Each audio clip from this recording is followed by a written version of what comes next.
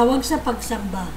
Tunay na ang Diyos ay hindi malayo sa atin, bagkos siya ay ating kasama sa pagtitipon na ito.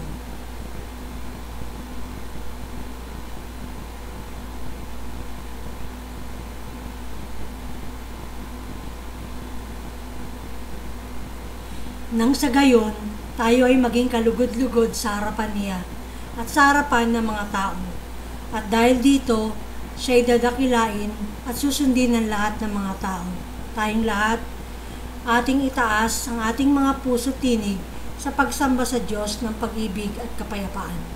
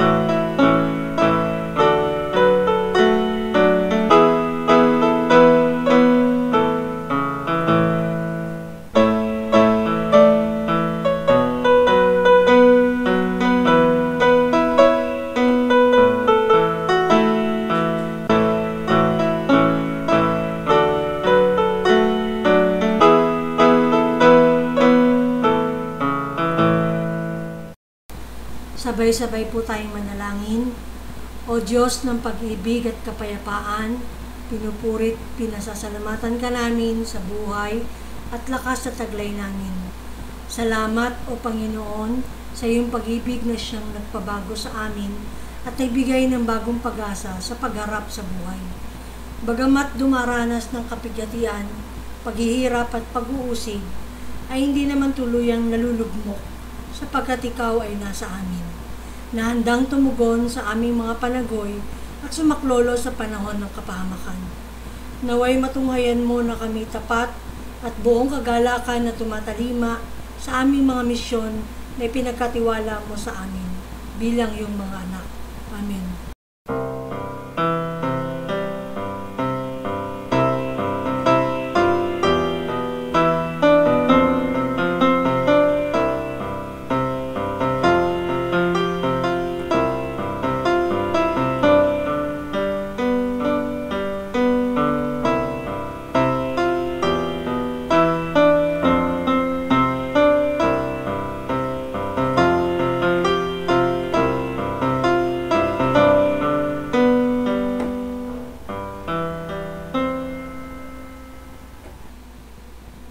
Nahayag mula sa langit ang puot ng Diyos laban sa lahat ng kalapastanganan at kasamaan ng mga taong sumisiil sa katotohanan sa pamamagitan ng kanilang kasamaan. Dahil dito, magbalik loob kayo sa Diyos, talikdan na ninyo ang paggawa ng masama. Pag-aralan ninyong gumawa ng mabuti, pairalin ang katarungan, itigil ang pang-aapi, tulungan at ipagtanggol ang mga walang lakas at tinig. Buong kapakumbabaan na ihingi natin ng tawad ang ating mga kasalanan sa Diyos. Hatulan niya tayo ayon sa ating mga ginawa.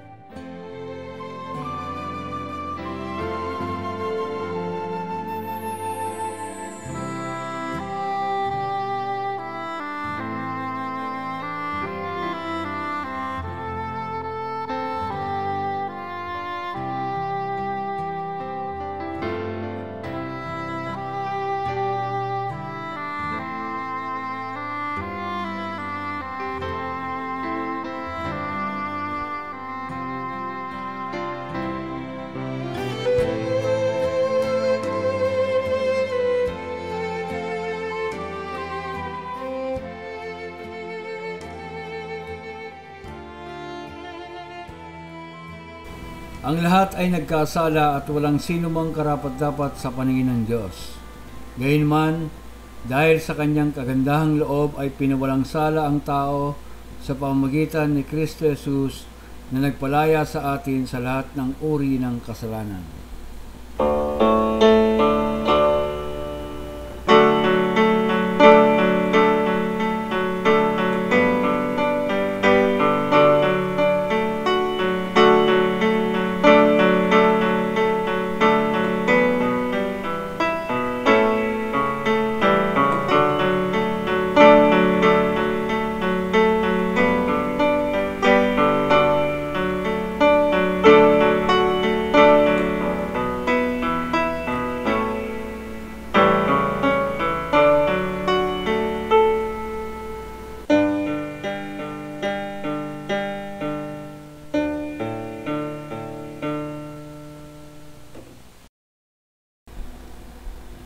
naming Diyos na makapangyarihan sa lahat, muli kaming dumudulog sa inyong banal na harapan upang purihin ka at pasalamatan sa iyong walang hanggang biyaya ng pagliligtas at pag-iingat sa bawat isa sa amin.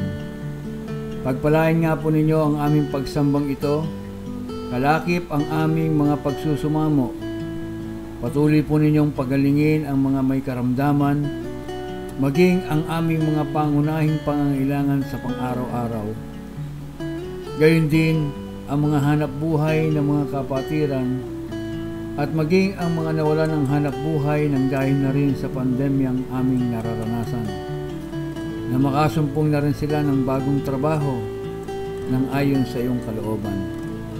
Dahil ang Diyos patuloy na pag-iingat sa mga senior citizen at mga kabataan ang hiling sa inyo sa kabila ng pagluluwag ng mga community quarantine sa maraming lugar.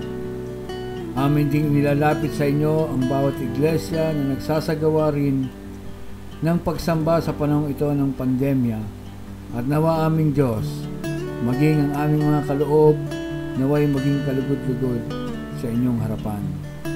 Lahat ng dalangin namin sa makapangyarihang pangalan ni Jesus. Amen.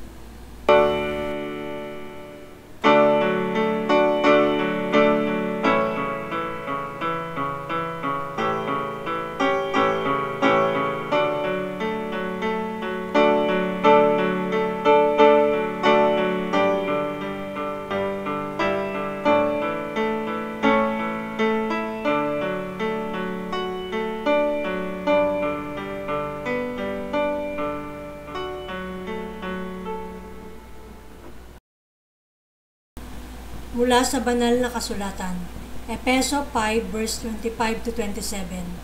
Mga lalaki, mahalin ninyo ang inyong asawa na gaya ng pagmamahal ni Kristo sa iglesia. Inihandog niya ang kanyang buhay para sa iglesia upang ialay ito sa Diyos, matapos linisin sa pamamagitan ng tubig at salita.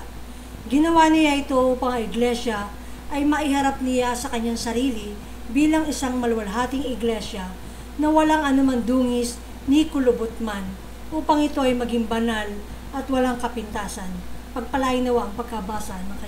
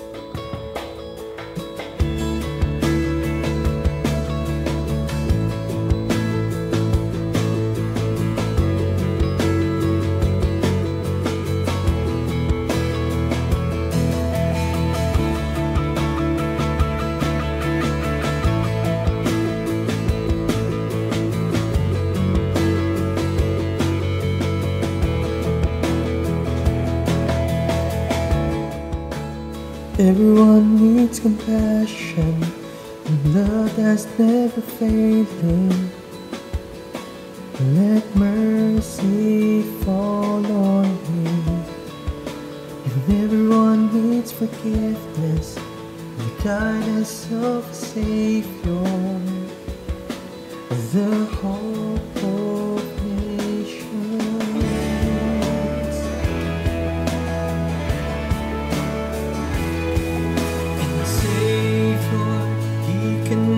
the mountains.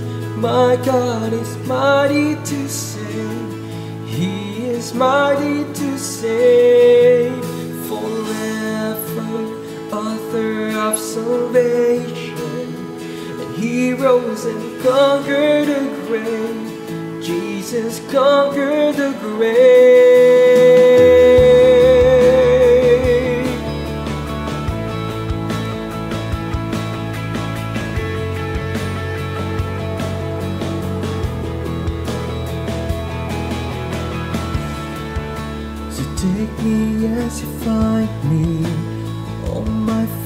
Fears and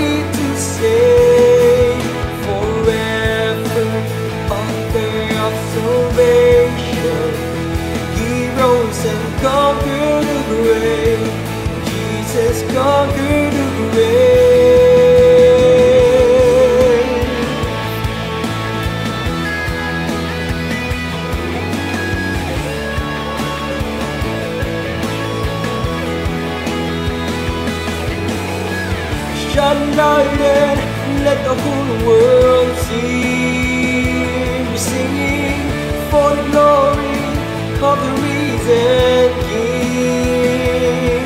Jesus, shine light and let the whole world see. We're singing for the glory of the risen King. Savior, He can move the mountains, and my God is mighty to save.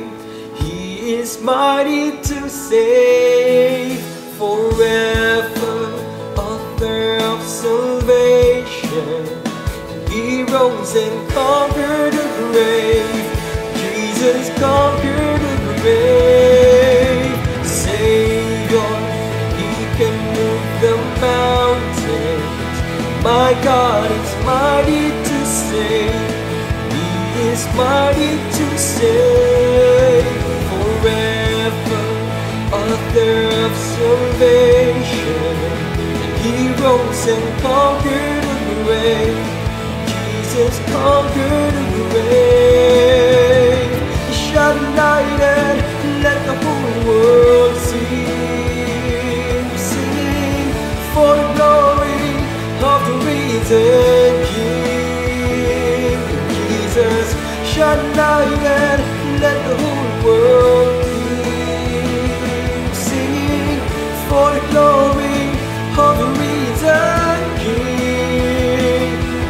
Jesus shine light and let the whole world see. We're singing for the glory of the risen King. Jesus shine light and let the whole world see.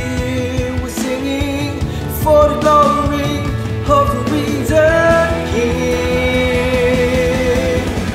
Shine let the whole world sing, singing for the glory of the risen King. Jesus, shine light and let the whole world sing, singing for the glory of the risen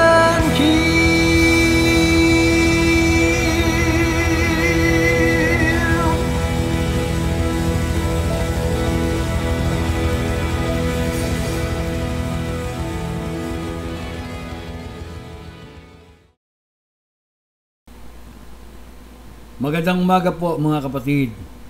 Ngayong linggo pong ito ay ating pinagdiriwang ang linggo ng mga kalalakihan. Gayon din naman, kinikilala rin natin ang ating mga kapatid na mga katutubo. Ang kanilang mga sakripisyo at naiambag sa ating mayamang kulturang Pilipino. Gayon din ang mga iglesia at manggagawang nagpapatuloy sa ministeryo sa kabila ng kahirapan sa kalagayan sa buhay o uri ng pamumuhay. Na sa kanilang mga kalagayan na kabaligtaran sa ating kalagayan dito sa lungsod at nagtatagumpay bilang isang iglesia, tayo po ay sandaling manalangin. Dakilang Diyos na aming manlilikha, tungayan po ninyo ang iyong iglesia sa mga oras na ito sa kanyang pagsamba. Maging dapatin nga po ninyo ang bawat isa sa paglapit namin sa inyo ngayong umaga. Linisin nga po ninyo kami sa anumang kasalanan o karamihang matagpuan ninyo sa aming isipan, pananalita at mga gawa. At patuloy naming tinataboy ang anumang gawa at panlilito ng Diablo sa aming pagsamba at kayo po ang aming maging tagapagsalita. At gamitin lamang po ninyo ang inyong lingkod bilang daluyan ng iyong katotohanan. Lahat ng ito'y dalangin namin sa makapangyarihang pangalan ni Jesus. Amen. Naniniwala po ang iyong lingkod mga kapatid na ang bawat isa sa atin ay naglalayon na maging matagumpay ang ating iglesyang kinabibilangan. Bagamat hanggang sa kasalukuyan ay nasa pandemic pa rin tayo ng dahil sa COVID-19, Hindi naman po masamang pag-usapan ang isa sa mga plano ng Diyos ng pagtatagumpay ng kanyang iglesia, anuman ang kalagayan nito sa kasalukuyan. Hindi lamang tayo mga kapatid ang naglalayo nito, kundi ang lahat ng iglesia na nalalaman nating nag exist ay ganito rin ang gusto. Why? Sapagkat ito naman talaga ang plano ng Diyos na maipalaganap sa buong sanglibutan ang mabuting balita ng kaligtasan at maging bahagi ng iglesia ang bawat nilalang. Subalit hindi rin lingid sa ating kaalaman mga kapatid na sa kabila ng pagtatangka ng bawat iglesia na maging matagumpay ay marami pa rin ang nabibigo. Ano kaya ang nagiging problema? Mayroon nga bang problema? Kaya ba nating tukuyin ang mga nagiging balakid sa tunay na tinatawag nating pagtatagumpay ng isang iglesia? Ano po ba ang tinutukoy ni Apostol Pablo sa ating teksto na ginawa ng ating Panginoong Yesus sa Efeso 5.27? Sabi rito, ginawa niya ito upang ang iglesia ay maiharap niya sa kanyang sarili bilang isang maluwalhating iglesia na walang anumang dungis ni kulubot man upang ito ay maging banal at walang kapintasan. At ano ang kaugnayan ng verse 25 to 26 na ganito rin ang sinasabi? Mga lalaki, mahalin ninyo ang inyong asawa na gaya ng pagmamahal ni Kristo sa iglesia. Inihandog niya ang kanyang buhay para sa iglesia upang ialay ito sa Diyos matapos linisin sa pamamagitan ng tubig at ng salita. Isang uri ng pagmamahal ng may pagpapasakop at sakripisyo. At alam natin mga kapatid, ang pagpapasakop at sakripisyong ito ng ating Panginoong Yesus ay nagresulta ng kamatayan sa krus. Eh tayo mga kapatid, kumusta na yung ating sinasabing pagmamalasakit sa iglesia? Mayroon ba itong pagmamahal at sakripisyo? Mayroon ba itong pagpapasakop at sakripisyo? Ano na ba ang nagawa natin para sabihing naging bahagi tayo ng pagtatagumpay ng iglesia? Sa loob ng labimpitong taon sa basement ng Centennial, naging seryoso po ba tayo para sa isang church building o munting kapilya man lang na masasabi nating bunga ng labimpitong taon? Hindi ko po sinasabi na hindi pagpapala ang pinahay o pagpapahiram o payagan tayo ng NHA para makapagdaos ng ilang gawaing pang-iglesia sa basement.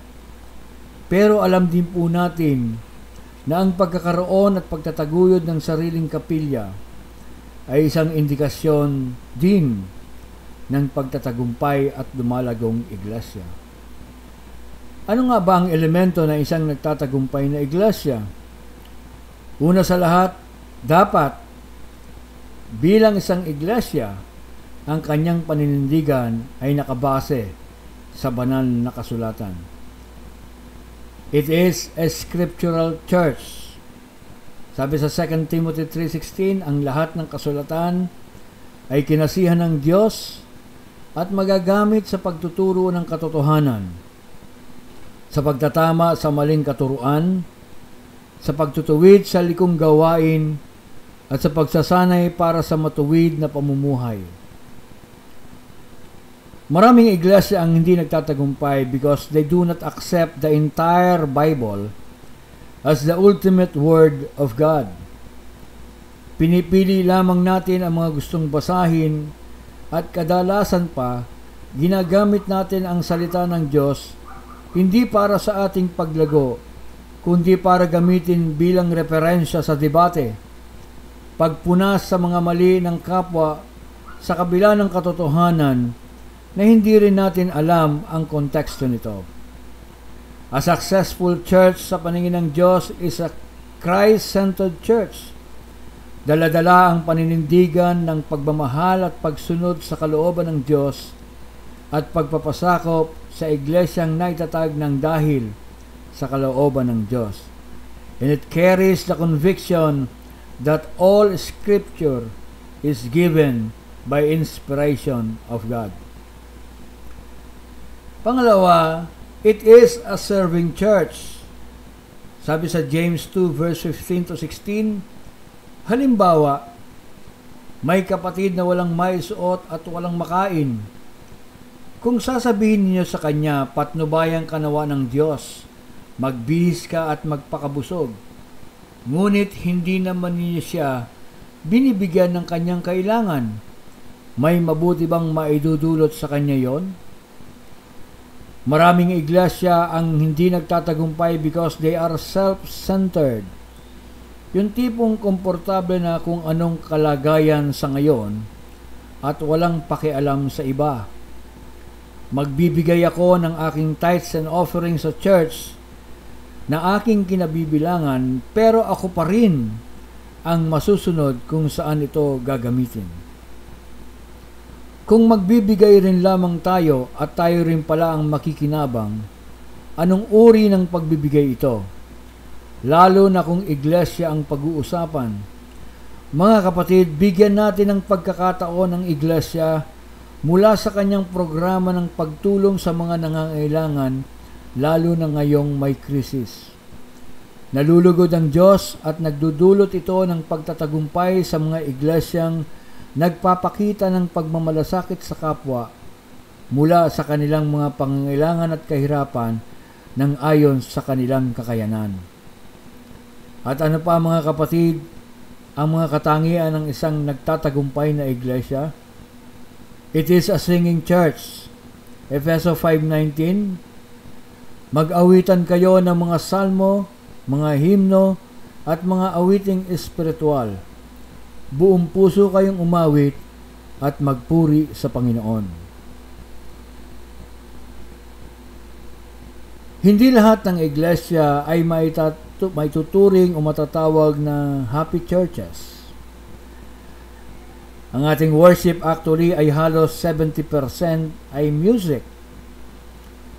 Kaya tuloy may mga iglesyang tinatawag na dal or drum. Matamlay at walang sigla maging sa pag-awit. Maging dito sa ating iglesia. Maraming mahilig kumanta, maraming may talent sa pag-awit, pero hindi mo makitang bahagi ng choir o ng music ministry. O hindi man lang kaya nabibigyan ng pagkakataon. Alam niyo mga kapatid, ang matagumpay na iglesia ay alive, buhay. Yung bang kapag kumanta ay nakakahikayat, nakakaengganyo sa mga kapatiran na maging bahagi ng ministering ito, na sa pagkanta pa lang ay makikita at mababasa mo ang mensahe ng awit at ito ay iyong mararanasan. Yung bang tipong babalik next Sunday ang taong ito na iyong inaimbitahan. Hindi yung madadala dahil hindi man lang pinansin ng sino man mula sa church ang bisitang ito. Hindi tayo umaawit sa choir ng wala lang, kundi ito isang uri ng paglilingkod sa ating Panginoon at ang sabi nga, singing and making melody in your heart to the Lord. Iba po yung awit na nanggagaling sa puso kaysa sa bibig lang. Pangapat, it is a soul-winning church. Matthew 9.37, kaya't sinabi niya sa kanyang mga alagad, napakarami ng aanihin, ngunit kakaunti ang mag-aani. Many churches lack a burden and zeal for the unsaved. Na kumbaga ay uh, Total, ligtas na naman ako. Eh, bahala na sila. Bahala na ang ibang tao. Sa ating mga kapatid, ilan sa ating miyembro ng pamilya na hindi natin matiyak na sila'y tumanggap na sa Panginoon. O ilan sa ating miyembro ng pamilya ang hindi man lamang nating naisama sa church Ilan sa ating mga kaibigan o kapitbahay ang nabahagi na, na natin ng mabuting balita? Tungkulin po nating lahat yan. Hindi lang ng mga manggagawa, mga officers ng council, hindi lang ng mga elders or deacon, kundi lahat ng miyembro ng iglesia. Kasama ka roon, kapatid. The Great Commission admonishes Christians to spread the gospel to every creature every Christian. Ang matagumpay na iglesia ay hindi nakukontento ng para sa kanyang sariling kapakinabangan lamang.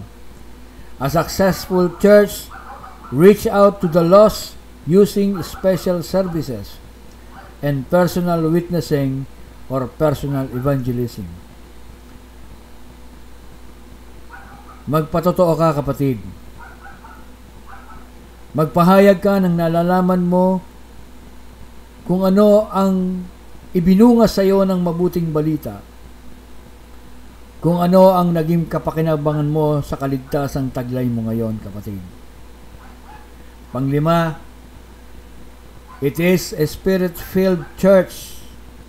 Sabi sa Efeso 5.18, Huwag kayong maglalasing sapagkat mauwi yan sa magulong pamumuhay. Sa halip, ay dapat kayong mapuspos ng espiritu. A spiritual failure results in church failure. Affluence or wealth and even social aspirations cause many churches to lose their spiritual passion or zeal. Ano po ang ibig sabihin nito mga kapatid? Ang kalasingan ay hindi lamang sa pamamagitan ng espiritu ng alak o alkohol, kundi napakaraming realidad ng buhay na sadyang nakalalasing at nagdudulot ito ng kawalang direksyon sa maraming bagay. Alam nating lahat na ang taong nalalasing sa alak ay hindi totoong hindi niya alam ang ginagawa, kundi lumalakas lamang ang loob na gawin ang hindi niya kayang gawin o sabihin kapag wala ang espiritu o kalasingan sa alak. Kundi sa maraming bagay, ang ating kawalan ng respeto sa ating kapwa at pang-aabuso sa kapangyarihan o pagpapasailalim ng katanyagan o kayamanan ay kadalasan nagbubunga ng kawalan direksyon. Yung kung ano ang maisip ay yun na lang. Ano po ang sikreto upang mapagtagumpayan ang kalasingang ito? God must have first place in our lives and in our church. Meaning focus on God's plan.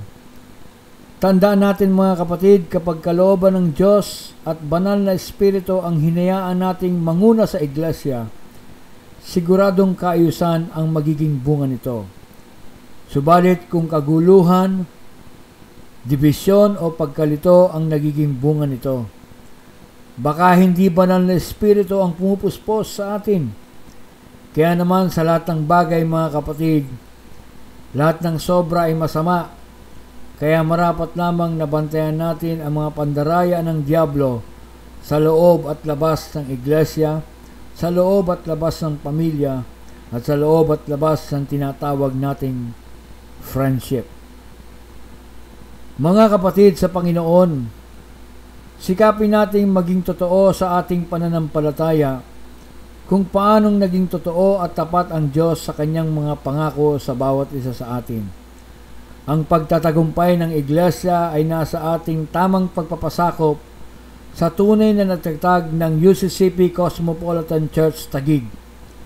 Bagamat may mga ginamit ang Diyos para sa katuparan nito, subalit huwag nating kalilimutan, si Jesus pa rin ang ulo ng iglesia. Tandaan po natin mga kapatid, ang iglesyang matagumpay at patuloy na nagtatagumpay ay scriptural, serving, singing, soul winning, and above all, a spiritual church, sang iglesyang puspos ng banal na Espiritu. Sa pangalan ng Ama, ng Anak at Espiritu Santo, Amen.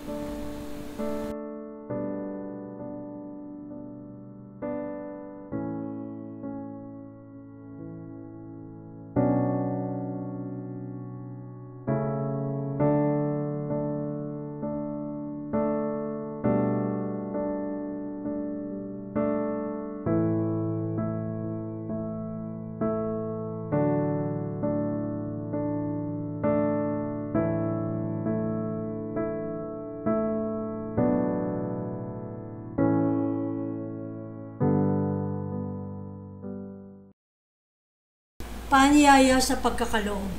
Pinagkaloob ng Diyos sa mga kanyang bugtong na anak na si Yeso Kristo upang tayo ay makasumpong ng buhay at kasaganaan. Kaya naman, tayo tinatawagan na ihandog din natin ang ating mga sarili at lahat na ating mga tinatangkil sa Panginoon na siyang tanda ng ating pag-ibig sa Kanya.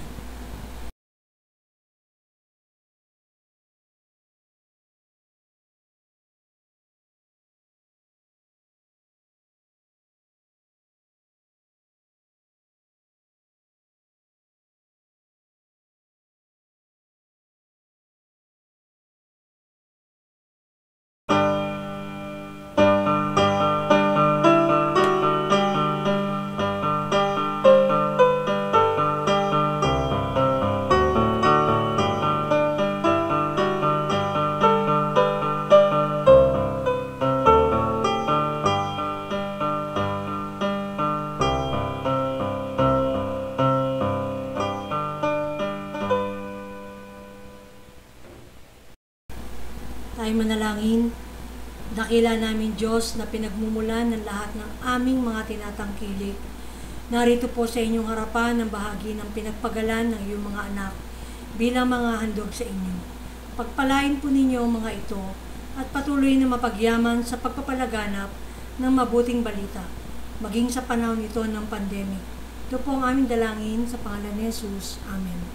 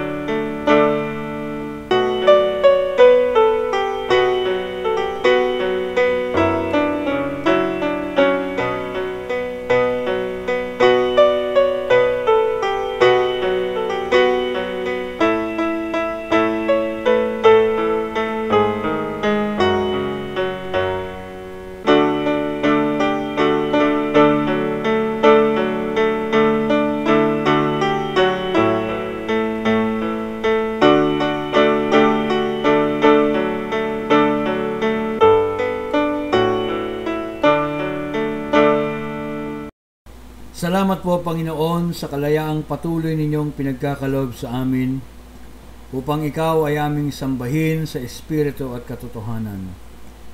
Naway masumpungan ninyo kami bilang isang iglesia na nagkakaisa sa pagtataguyod ng isang matagumpay at nagtatagumpay na iglesia bilang iyong sambahayan.